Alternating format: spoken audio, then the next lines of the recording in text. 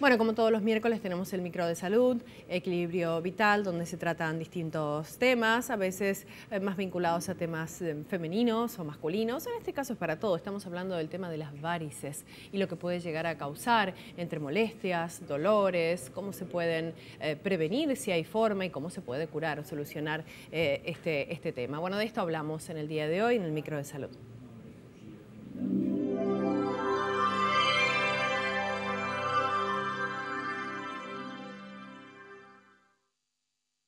Las varices son inflamaciones de las venas que suelen aparecer principalmente en las piernas, tobillos y pies. Si bien muchas personas atacan las arañitas por una cuestión cosmética, las varices tienen que ver con una cuestión mucho más profunda del sistema circulatorio y es por eso que hay que prestarles atención.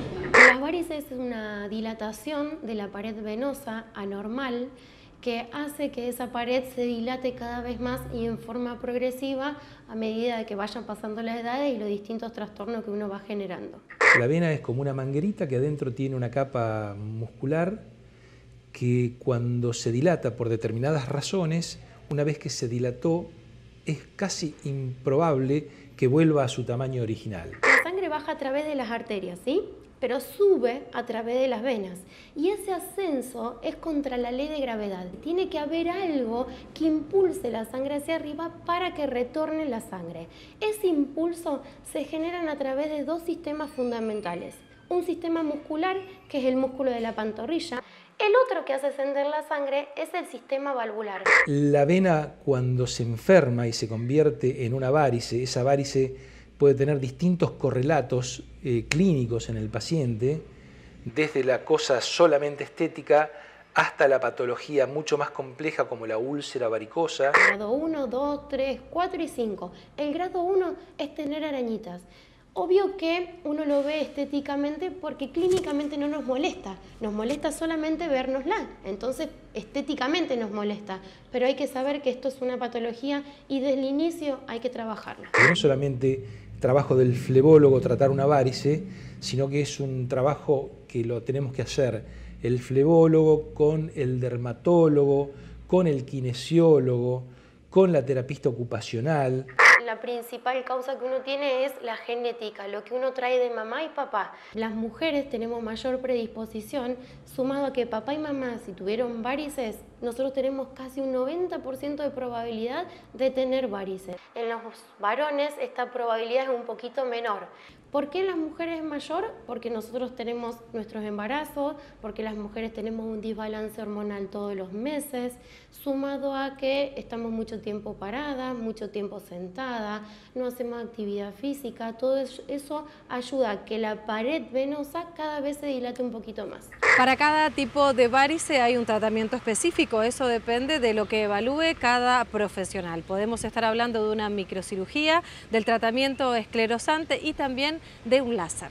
En todo momento de la vida hay que tratarla. ¿Por qué? Porque es una patología crónica, es una patología evolutiva y no tiene cura en qué sentido. Hay que saber que esta patología es una patología genética. No vamos a modificar la genética, pero vamos a mejorar la calidad de vida y vamos a evitar que esta enfermedad progrese en el tiempo.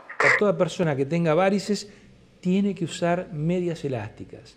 ¿Por qué? Porque es una manera de darle un continente, un límite a que esas piernas con esas varices no se dilaten más. Porque además la persona que tiene varices tiene edema en las piernas. Si nosotros solamente tenemos una patología superficial, solamente se trata la patología superficial. ¿Qué tipo de tratamiento hay para la patología superficial? Existen dos muy importantes, que son el esclerosante y el tratamiento láser. ¿Qué diferencia tiene esclerosante y tratamiento láser? Esclerosante es un tratamiento que se hace hace muchísimos años, es excelente, pero es un tratamiento paliativo. ¿Qué significa? Que no es definitivo. Son inyecciones con eh, agujas muy finitas que se pinchan donde está la vena dilatada y se inyecta una sustancia que las irrita en el interior y luego las ocluye, las esclerosa. Si son venas más gruesas, le hacemos una microcirugía. Si son venas muy gruesas, se hace un tratamiento quirúrgico o un tratamiento láser.